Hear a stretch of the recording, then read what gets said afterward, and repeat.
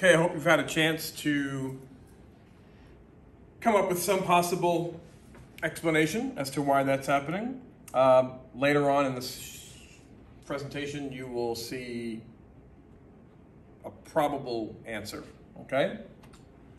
All right, worms. There are a lot of worms in the water, in the ocean, in the bays, in the lagoons, in the estuaries in all those places that we've talked about so far, and we will continue to talk about, particularly in the next unit and beyond, but, but you don't see them very often. You don't see these worms um, anywhere because they hide. They're very good at hiding.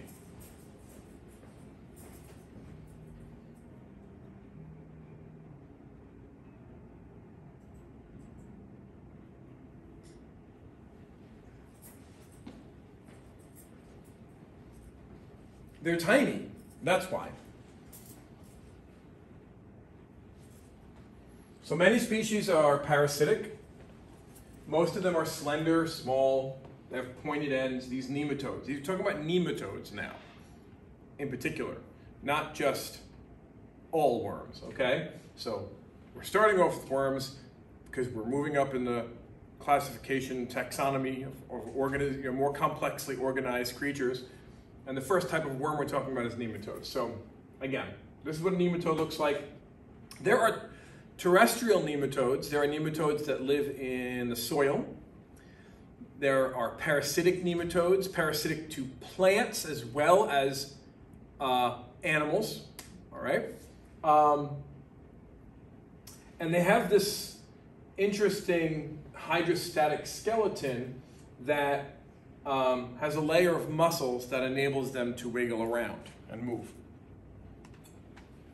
So I'm not going to spend too much time on any one particular uh, phylum of these organisms, but segmented worms are a pretty big one. So segmented worms, they're called annelids.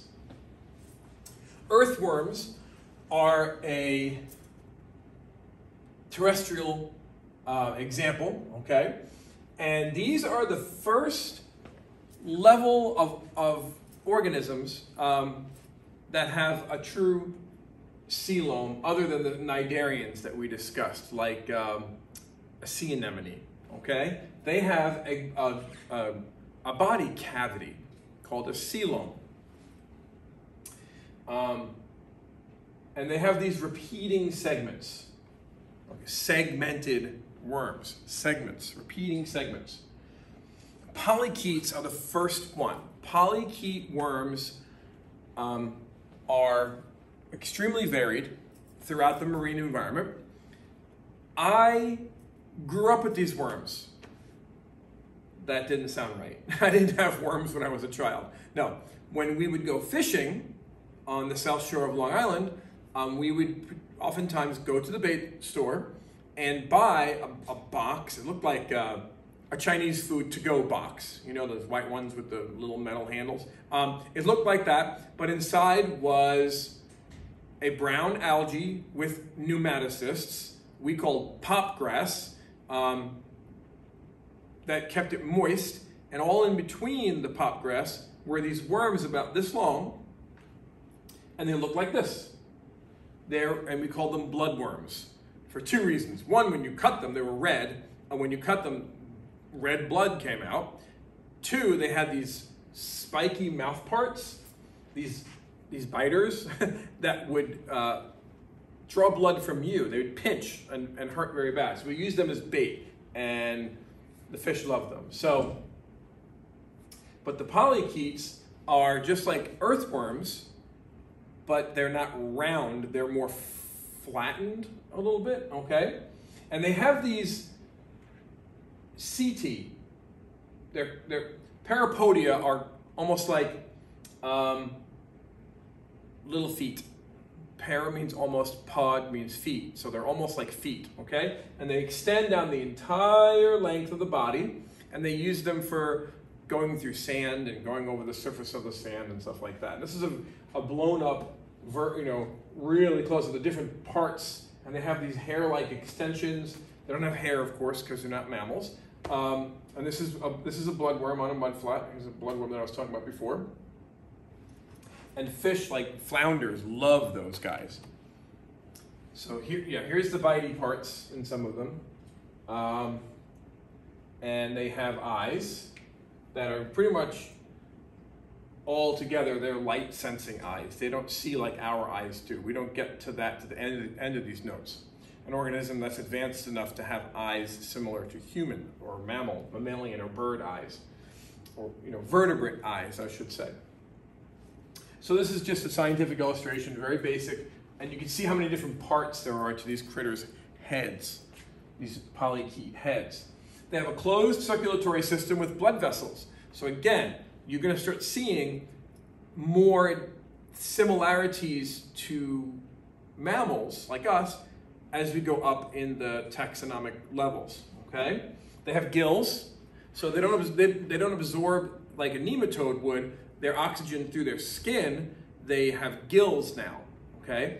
And so the gills, just like fish, absorb oxygen through the water, um, and they're extensions of the body wall.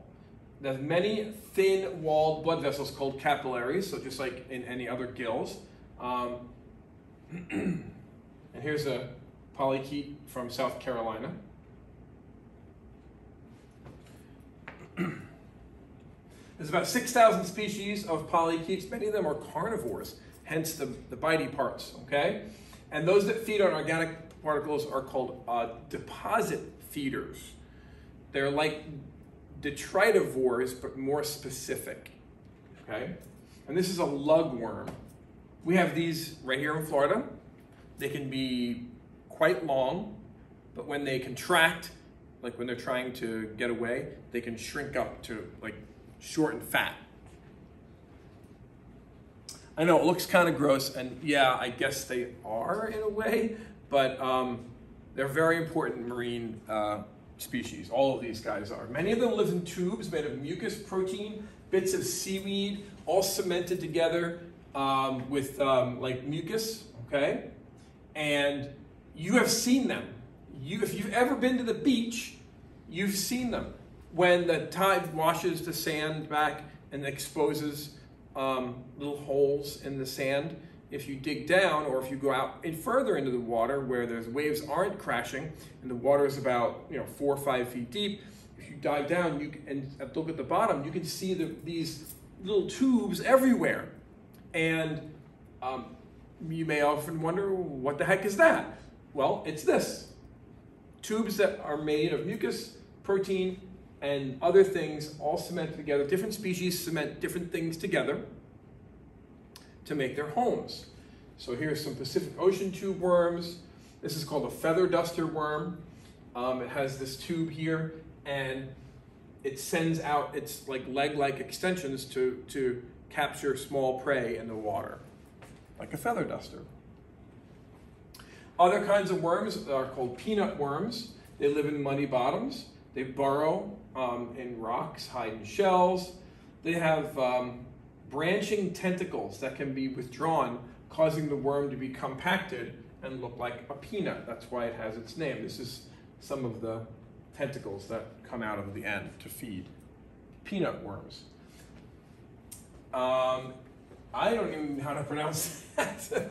um, Ecurins? I don't know. It doesn't really matter. Just know that these weird things exist. Okay, there's about 100 species. All of them are marine. I have never personally seen one in real life, um, but they are deposit feeders, and yeah, they have this really weird um, shape to them. This is called an innkeeper worm. So you, you don't very you, you very rarely see these these creatures.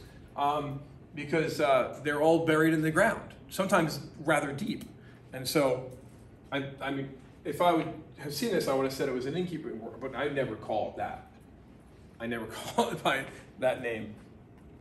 Beard worms, that's easy to say. Um, long, thin worms, no digestive system, which is very uncommon in, in animals. So how do you think that they digest their food? If they don't have a digestive system? How do they think they get nutrients? Now this is uh, three millimeters, this length. So this would be you know, three, six, nine. Okay, so this is kind of kind of long, long and thin for a little tiny like that. Um, arrow worms look like this. If you're holding one in your hand, they're almost clear. All marine, all planktonic, and all carnivorous. They eat other things. Remember, carnivore doesn't necessarily mean chomp chomp teeth, right? It just means that it eats another animal or zooplankton or something like that. All right, now we're moving on to a different phylum. Moving on from worms to something that's kind of in between a worm and a mollusk. And these are called lophophores, or the lophophorates. They have a unique feeding structure called a lophophore. And um, that's these ciliated tentacles arranged in a horseshoe shape, like that, okay? Circular or coiled, and they are what's called suspension feeders. A suspension feeder, we're going to see more of them later in these notes, um, they wave something in the water and catch suspended particles, like the marine snow or zooplankton or phytoplankton or anything small enough that they can catch and, and pull in to their mouth with their tentacles, with their ciliated tentacles. Some of them are bryozoans. These you, you've seen again, you've seen all of these creatures. If you've ever been to the water, if you've ever been to the beach, if you've ever been to a boat, if you've ever been to a dock, okay, down by the intercoastal, you've seen these. It's that fur, not real fur, but that furry coating that's on everything that grows in the water. The rocks, the pilings, the sides of bridges, underneath boats, unless your boat is constantly pulled out of the water. Um, on floating docks, just they're everywhere, and and they form these delicate colonies on all hard surfaces. The individuals are called zooids. Anything with zoo is an animal, you know that. Um, and they have they, they can secrete skeletons. So you can see that they have their lophophores extended for feeding. Phoronids, very similar. Um, they're worm-like, but not quite a worm. They build tubes of sand grains. So here's one with its um, feeding tentacles extended. They live in shallow water and mostly are very few centimeters long. And we're going to talk about what some of these other things in here, this nerve cord, we're going to talk about that coming up soon at the end of, no, the next set of notes. Next set of notes. All right, lamp shells. Um, living in New York um, and having access to the mountains only a couple hours away, to get to the mountains here, you have to drive like 10 hours north, okay, to get to those northern Georgia, where you'd find fossils like these brachiopods, okay? These are called lamp shells. Um, they have been around since before walking animals on the planet. Okay, they, so you can find them, like I was saying in New York, you can find them in the mountains. You, like, you know, the mountain that used to be down here as part of the ocean, but geological forces made that mountain go up. Okay, there's fossils up there in those mountains. Fossils, sea fossils. And you can find these things everywhere. I used to go hunting for them when I was younger and found a bunch of them. I had them in my house. Like they're gone now, but anyway. Um, they have a shell with two parts, one, two, and those parts are called valves. You may think a valve is something else, but just know that a valve is the shells, okay? And they attach to rocks and soft sediments in shallow water. And this is what they look like. They look like little clams or little oysters, but they're not. They're brachiopods. And this is the anatomy of one. See, it's very complex. With um, this is the pedicle that they use to attach themselves. They have a muscle that keeps their their um, their valves closed. These muscles here, adductor muscles, they're called. So, but we won't get too deeply into that because um, that's not the creature that we're going to be drawing for our field guide. It's going to be something on this end of the spectrum, okay? In the mollusk phylum, phylum Mollusca. Lots of species. All these numbers should have approximate signs in front of them. Um, both marine and fresh, there are freshwater mollusks. There aren't any freshwater octopuses, octopi, um, or squid, but there are snails and um, mussels and things like that. So they have a calcium carbonate shell, almost all of them. Not these guys. um, and they're, once inside the shell, the valves, there's this tissue called a mantle that actually secretes the shell. It, it, I'll show you a picture of that later. So just examples of different ones here. So um, here's the mantle. It's that tissue right there, just inside. And this is the, the body. Okay, so when you eat a clam, if you've ever eaten clams before, um, you usually just eat the muscular foot, which is here. You don't typically eat the guts, although I've seen people growing up in the Bay on Long Island, they just take the clam and they put it on the barbecue and then the heat makes the clam open up and obviously kills the clam. It cooks the clam and then they'll just open the rest of it up, put hot sauce on it, and eat the whole thing. Like everything inside. So gross. Okay. Mm. That's what you do with oysters. If you've ever eaten oysters before, it's the same thing. I'm going to teach you a little bit more about why eating that kind of stuff is raw like that, raw. Cooked is fine, but raw, there are some problems. Okay. Um, and so this, again, this adductor muscle, these muscles have to be cut or somehow weakened in order for this organism to open. They're very strong. So they have bilateral symmetry, so right in half, okay? Not um, pent radial symmetry like a sea star. They have gills for breathing, and they have this muscular foot that pulls them into the ground. So just like you see here. So if you start this animation over, that's the siphons on that end. That's how they breathe, and that's how they uh, eat. So you see the foot come out, finds its way, and it so extends it, and then it tightens it which pulls the creature down inside the mud.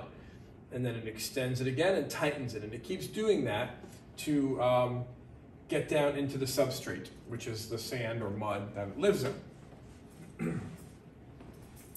and if you ever ate clam chowder, clam stew, clam fritters, clam casino, that's the chopped up pieces of the muscular foot's muscle. It's like just like cow muscle or pig muscle or chicken muscle or fish muscle, okay? All right, some, some mollusks have this, uh, have, a, have an anterior head, like a snail, okay, or slug. And, they, and on that head are this ribbon of teeth called a radula. And this is it. The radula is made out of chitin, which is very similar, which is the same material that uh, crab's shell is made out of, hard and um, it's very raspy. So I don't know if you know what a rasp is, but um, in woodworking, a rasp is a tool that you scrape wood shavings, well not shavings, but scrape wood off, okay? Anyway, so that's what these guys do. They use this radula as a scraping tool to, to scrape algae off of the bottom, you know, off of rocks or, or just food from the surface, okay? It's, a, it's like little, little teeth to scrape. Not, now, again, some mollusks, like snails and slugs. All right, so now we're going to go down into the different classes of mollusks. So we're going to start with the gastropods, the class Gastropoda. Gastropod means stomach foot. Gastro, stomach, pod, foot. So these guys have their guts like right on their, their foot, okay? So there are snails, a cone snail. This is a keyhole limpet, a giant one. These are uh, nutmeg snails. They suck the blood of electric rays. Cooper's nutmeg. So they're parasitic. Pretty crazy how varied life is out there. Um, about 90,000 species. They use their radula, like I said before, and again, some are, some of them are carnivores. Like carnivores, like the cone, the cone snail. We talked about that um, in a previous unit. That has a harpoon with venom, and it'll stab a fish, and the fish will go limp, and then the cone snail has its way with it. So very carnivorous. Here is a generalized structure. Uh, this is uh, of a snail, gastropod. Um, you can see a lot of their body is up inside their shell that they um, make. The mantle makes the shell. See, mantle. Okay? And some of them have both sexes, as you can see there. And there's the radula. Now, this, of course, would be a land snail because it has lungs. All right, so let's talk about some sea slugs, nudibranchs. These are actually very beautiful creatures. Um, one of them is actually called a Spanish dancer or something, a flamenco dancer, because it looks like a woman when it's moving, when it's swimming through the water, like undulating. It looks like the the frills of a um, a flamenco dancer of, of, the dress of a flamenco dancer. So um, they don't have a shell because they're slugs, right?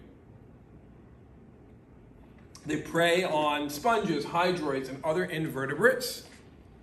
They're poisonous because they have retained noxious chemicals, particularly nematocysts, found in their prey. So when they are eating something that has stinging cells called nematocysts, they can use them in their own bodies, but particularly in the end of their um, cirri, or I'll show you what they're called in a minute. Okay.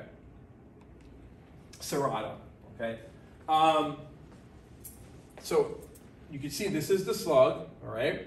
And these cerata, they have pieces of the gut inside them, but at the end of them are the nematocysts from the prey that it eats. Somehow evolutionarily, it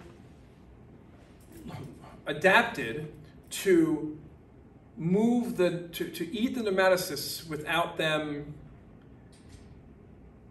hurting them and then they, they migrate up to the tips of these cerata which is part of the digestive system for protection against other predators eating them that's pretty wild now we're moving into class bivalvia. Bivalve, two valves, all right? Two shells, clams, mussels, oysters, and other types of those.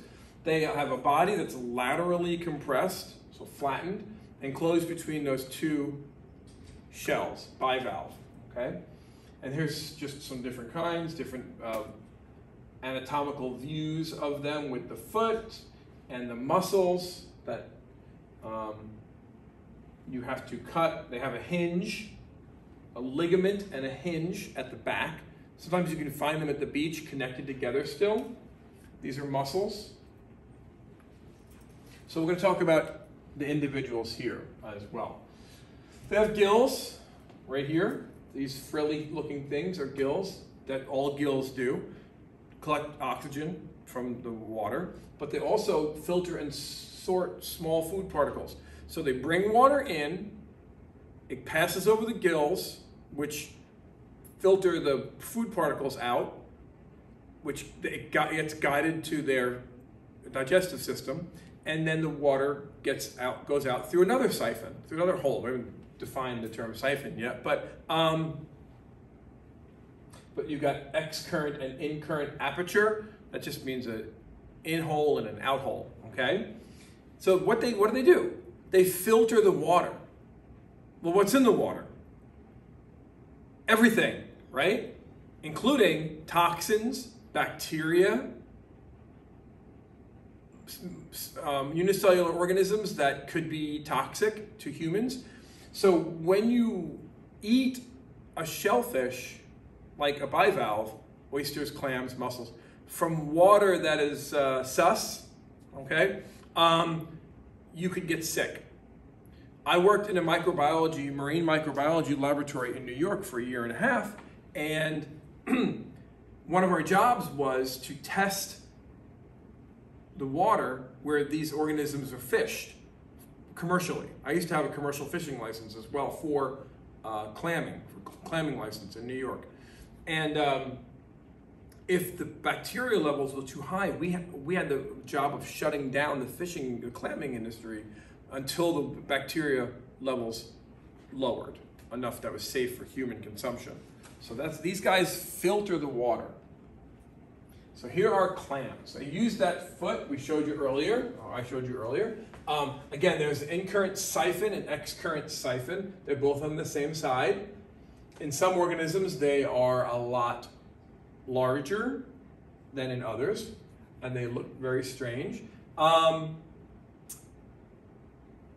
gills, muscles, so you're going to be drawing something similar to this for this part of the unit, right?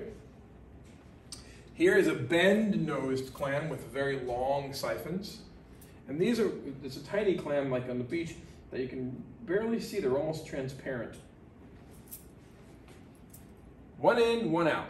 And you can see they can be deep in the substrate and the siphon can go all the way up out of the water. Out of the substrate, into the water, sorry.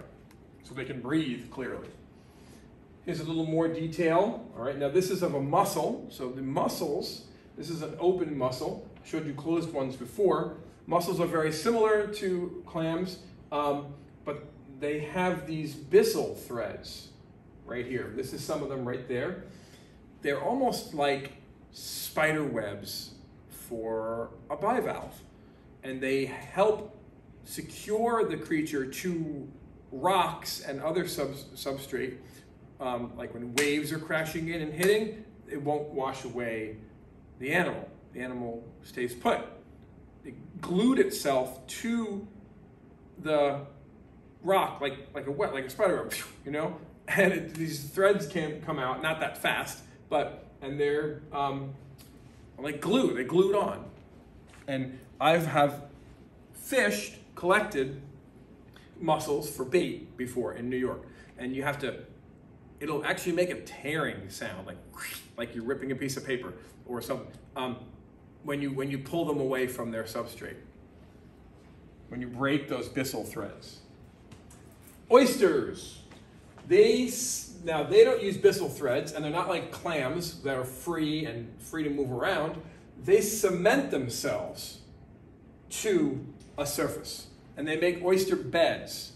And we have oysters that grow all over the place here in Florida. Just go down to the Intracoastal Waterway um, and look on all, you know, lots of different hard surfaces, and you'll see little clumps of oysters growing on the pilings and, and on rocks and things like that. And these are the only ones that make pearls, but there are also freshwater ones, um, but those aren't expensive as the saltwater ones. When a piece of sand gets underneath the mantle, remember the mantle is just a layer of tissue that secretes the shell, right? And this is the shell, this is the, the mantle on top. If a piece of sand gets in between there, then the muscle will um, excrete or secrete the mother of pearl, which is what the shell is made up out of, except it'll do it in a layers over that sand to prevent it from irritating the, the animal. Okay, imagine you had a piece of sand like under your tongue, and it was like, you ever get a piece of food like deep under your tongue, and you're like, oh, I can't get it out. Um, and it's, it's tickles or it actually hurts, it's scratchy. Imagine that you could secrete like something over it to make it soft. And that's pretty much what they do.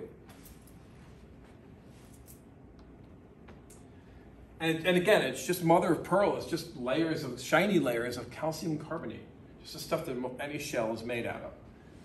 Scallops. Scallops are the only ones that can swim using jet propulsion. These are Very interesting. And these are the only ones that have eyes, or types of eyes, you know, not like our eyes. But um, so these are obviously a, a, little higher up on the uh, on the chain, okay, of taxonomic um, complexity. All right.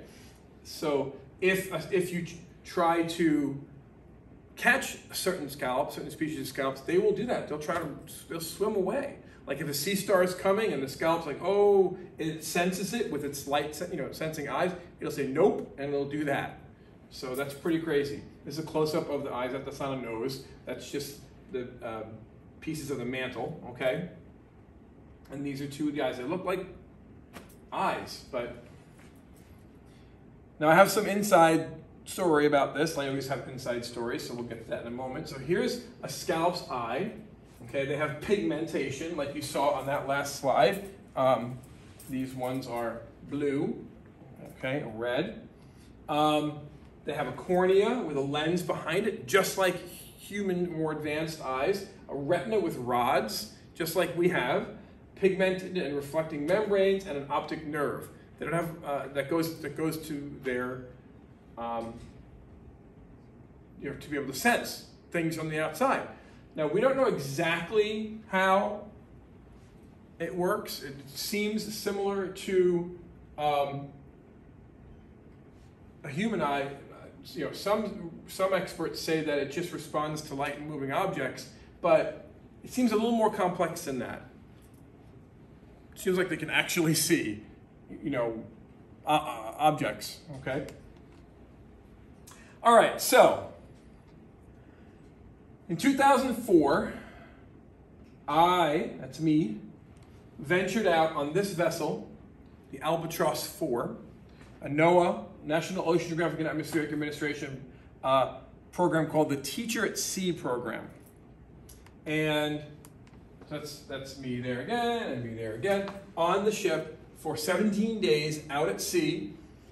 And we did something called a sea scallop survey. Now, why? Why did we do this? There were NOAA vessels go out all the time. Research vessels go out all over the world, um, from, from Hawaii and, and from the Gulf of Mexico, and from I left from Woods Hole, Massachusetts, in New England, um, and they work for the fishing industry. Well, they don't work for the fishing industry; they regulate the fishing industry.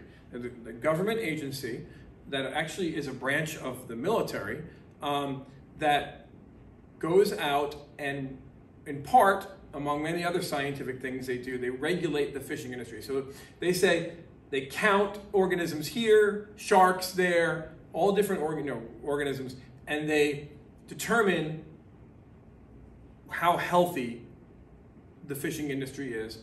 And they, just like I did before in that marine microbiology lab I worked in, they will shut down certain areas or certain species of fishing until the numbers come back. So they help regulate um, our resources, all right? And, and this was a sea scallop survey mission. So I went out with the science as a scientist with other scientists who work for NOAA um, and officers who ran the ship, and we studied sea scallops and collected them from the bottom. That's where I got that rock from in the back of the room. That's where those those scallops there. Those five scallop shells came from this trip. You can see two of them are, if you look back there, some of you aren't looking, look right back there on that shelf. Um, two of them are dark colored. Those are fossils. Those are fossilized sea scallop shells. But the other ones, the lighter colored ones, are um, are ones from living ones that we got. And some of them you could see boring sponges have atta- had attached themselves to the to the shell and started to make holes in them. So we learned about boring sponges in the previous uh, slide uh, show. And that rock on top is where I got, I, uh, this is where I got that rock from too, from the bottom of the ocean.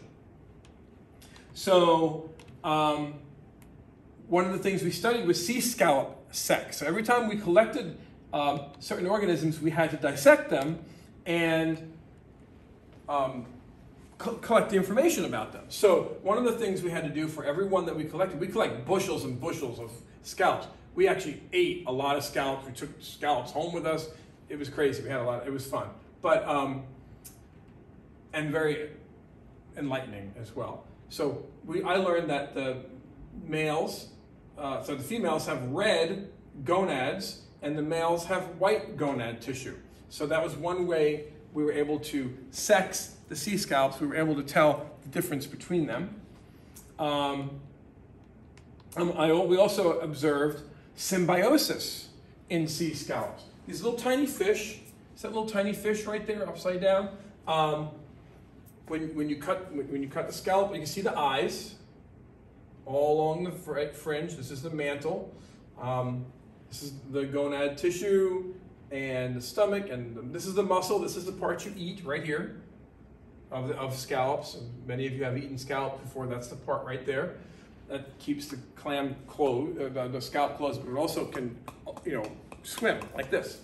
Anyway, this little fish lives out its entire life. It's called a Liparis fish in the existence of this, the mantles for protection of you know of the, the valves for protection. And this is a zoomed in picture of that little fish. It's called a Liparis fish. Doesn't doesn't hurt the scallop, but it uses the scallop. So what kind of symbiosis is that? Is it mutualism? Does the fish do anything? No. Is it parasitism? Is the fish eating the scallop? No. So it must be um, commensalism, right? Okay, here's another one. This is a red hake fish.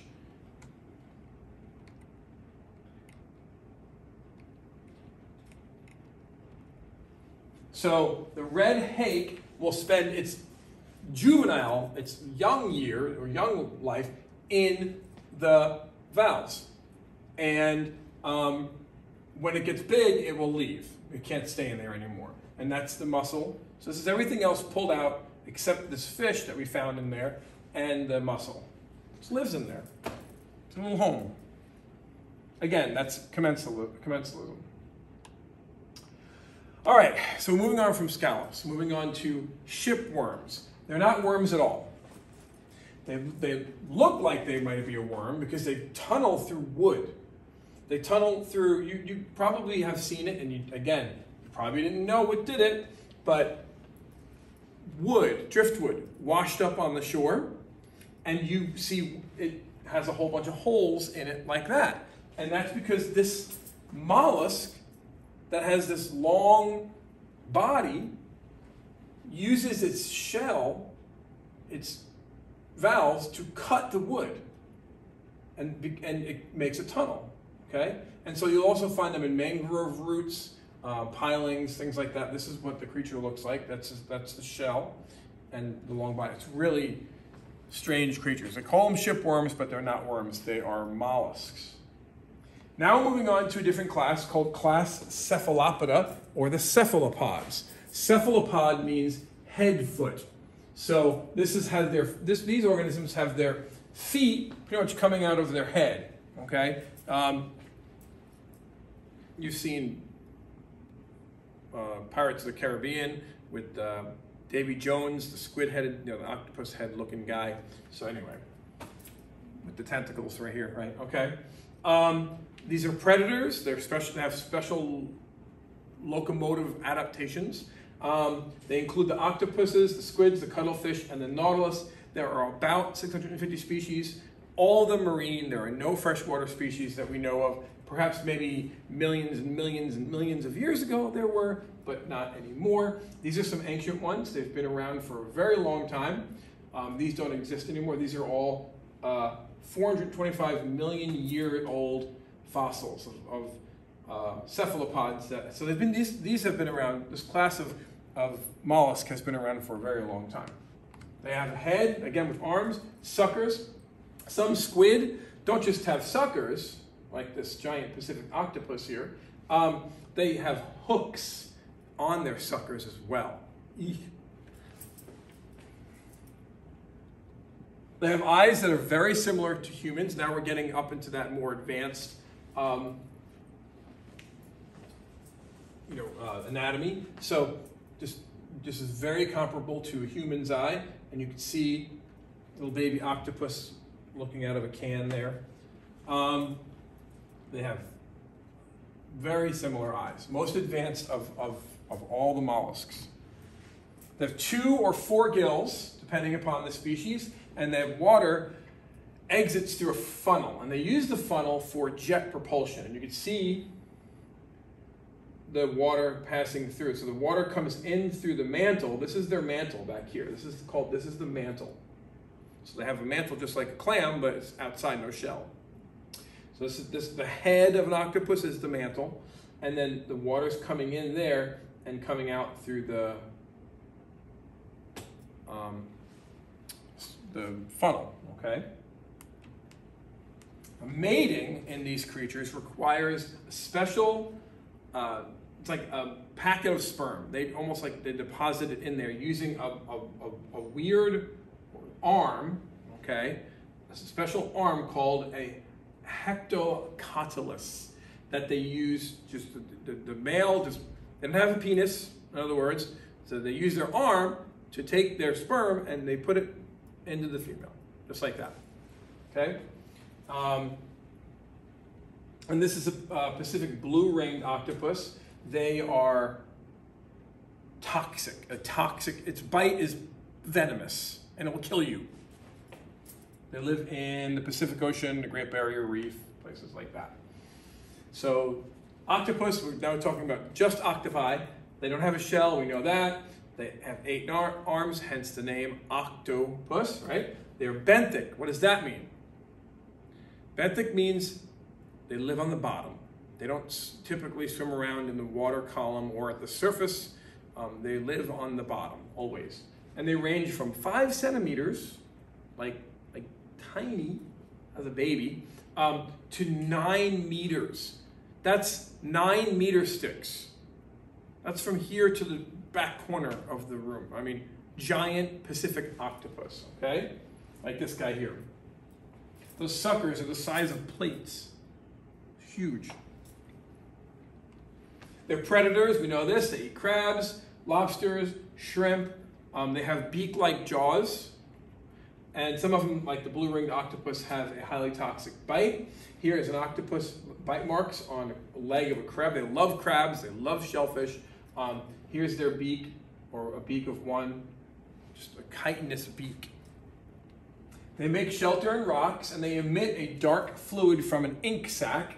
So here's an ink sac up inside their mantle, and they shoot it out of the funnel, which is a siphon. You can see it. This one's trying to confuse it, a predator by clouding the water with ink. So, true story. And they used to, and people still do, collect ink to use for writing. They still do. Octopus or squid ink. So moving on from the octopi to the squids. They are adapted to swim fast. They have 10 arms with suckers that circle the mouth, cephalopod. Two of them are feeding tentacles. And they have these things, in the, and they call them clubs, and they can be shot out to catch prey just like like a like a frog or a chameleon tongue. They shoot out and um, they'll they'll wrap themselves around, or even the little hooks will hook onto a fish or something, and they'll pull it into their mouth and bite it with that sharp, bitey beak. I know when we used to cook these in the restaurant when I was a, a dishwasher in New York, it my first job. Um, one of the things we had to we had to make sure that we pulled that muscular mouth beak out because if that hit the hot oil, it would pop and spatter oil everywhere. They have a supportive flimsy shell squid called a pen. And this is what a pen looks like. This is like if you were to get a squid from the fishing market or you know the grocery store and you had to clean it yourself, you have to pull that pen shell out. That gives them a little bit of gives their mantle a little bit of support so it's not so flimsy. It's clear. It looks like clear plastic. Looks fake, but that's their that's their shell. So like, like I said, they range from a few centimeters to 20 meters. Um, the squid, octopus, were nine meters. Squid are bigger. The Arch, Architeuthis, this is one that was brought up from uh, deep sea, so it's being um, dissected and studied. Okay, you see how big it is compared to a human hand there. And this is video that recently came out, first video ever of an Architeuthis that came up closer. Uh, I think actually a fishing vessel caught one in a net and pulled it up, but they didn't pull it into the boat. And they got this video, they dropped the camera in really quick, and they got this video of one um, near the surface, relatively near the surface, in Japan, Japanese fishermen. And this is an artistic rendition of uh, Architeuthis being eaten by a sperm whales. Sperm whales will travel down a mile into the water to find these favorite foods. And we know that they eat them. We've never gotten video of it, but we know they eat them because we find their squid beaks in their stomachs. When this whale, when a whale dies and we washes up on the shore, for example, when it's dissected, they will find squid beaks, and this is a squid beak of an Architeuthis, um, in their stomach. Undigestible, it's chitin. And then there are some other strange squid, like this big fin squid. Um, they don't have a funnel to jet propulsion. They don't need it. They just use their these long tentacles and their wing-like fins on the side of their mantle to locomote around. Locomote? Is that a word? Locomote? Locomate? To move. There you go. Okay. And finally, we're going to talk about the cuttlefish. The cuttlefish is an amazing adaptive, adaptive creature. It has color changing chromatophores in its skin. And this is, this is it getting ready to, to hunt. This is, this is its hunting color. It, it'll pulsate with color. But it also can look just like, it could blend into the rocks. It could look, it could change the, even the texture of it. Check this out. The texture is spiky, but then the spikes go back in and it becomes smooth. It's getting ready to attack a, uh, a crab in, in, in this thing, in this animation. And then inside their mantle, they have a much stronger uh, internal shell called a cuttle bone. And you may have seen these if you ever owned a bird in a cage, a pet bird. Um, because you'll put these in the side of the cage and the birds will peck at this to get um, calcium for their diet. Okay? And that is our notes for part five. Oh, wait. Ha! Tricked ya. One more. I promise this is the last one. Um, slide 53. The chambered nautilus.